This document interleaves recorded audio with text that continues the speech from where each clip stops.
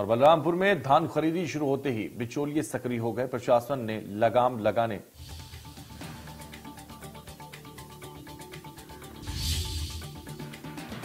प्रशासन ने लगाम लगाने पर सीमावर्ती क्षेत्रों में चौकसी बढ़ाई।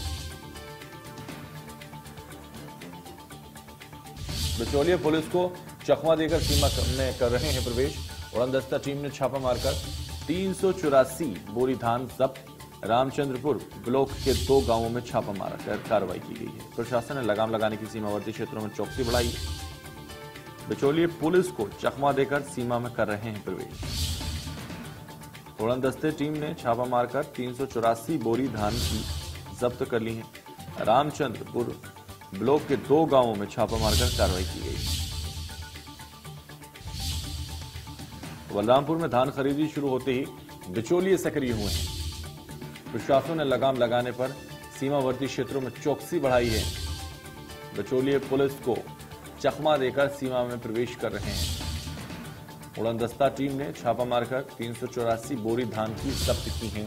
रामचंद्रपुर ब्लॉक के दो गाँवों में छापा मारकर कार्रवाई हुई है।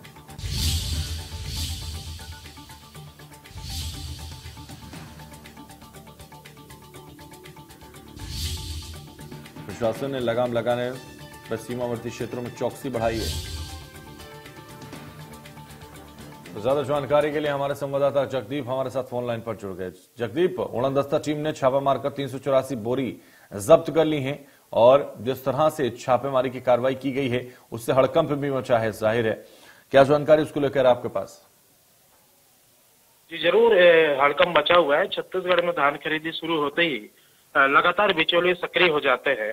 और वहीं इनको लगाम कसने के लिए प्रशासन द्वारा सीमावर्ती क्षेत्रों में चौकसी बढ़ा दी जाती है। ये उसी का परिणाम है कि ये जो तीन सौ चौसठ, तीन सौ चौरासी बोरी धान जो जब्त हुए हैं, वो वो यही कार्रवाई का नतीजा है। उड़नदस्ता टीम इसमें गठित की गई की गई थी और लगातार इस तरीके से जो भी कार्रवाई की जाती है, वो ये धान खरीदी के, धान खरीदी के दौरान ये होती है। जी। बिल्कुल तो धान खरीदी को लेकर जिस तरह से ये होती है और अब जिस तरीके से छापेमारी की कार्रवाई हुई है, वाकई अब कहा जा सकता है पूरी तरह से एक्शन में शासन प्रशासन है?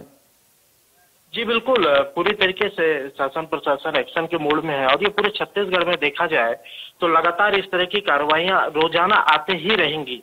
क्योंकि ये धान खरीदी के धान खरीदी के शुरुआत से ही लगातार क्षेत्र है, जो छत्तीसगढ़ के, वहाँ से भी धान आने की सुखबुगाहट शुरू हो जाती है, सूचनाएँ मिलती है, शासन प्रशासन औचक एकदम मतलब अचानक से वो जो तेज़ी लाती है इस दौरान, ये उसी का नतीजा है कि इस तरीके की कार्रवाई हो रही है। बलरामपुर ज़िले की ये जो घटना बताई जा रही है, रामचंद्रपुर ब्लॉक के दो गाँव में उड़नदस्ता टीम ने ये जो छापा मारा है, छापा मारने के बाद उन्हें तीन सौ चौरासी बोरी धान जब्त करने में सफलता मिली। हालाँकि इतनी बड़ी मात्रा धान कहाँ से आया है?